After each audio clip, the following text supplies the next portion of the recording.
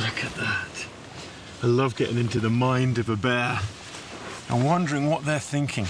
So imagine a female bear in November. She's looking for a place that she's going to spend the next six months.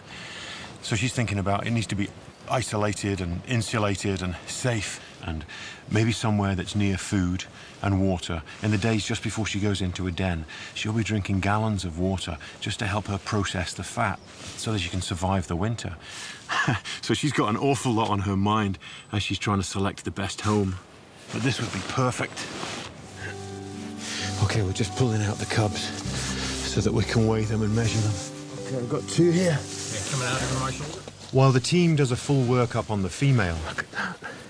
I get a chance to enjoy a moment I've always dreamed of. hey. Hey. Oh, you guys are perfect, aren't you? Guys here, as soon as you put them in your coat, they just want to feel comfortable and warm. They kind of chill out. And uh, I guess it must feel like they're close to their mum, like they are in that cave. It's the first time these guys have seen daylight.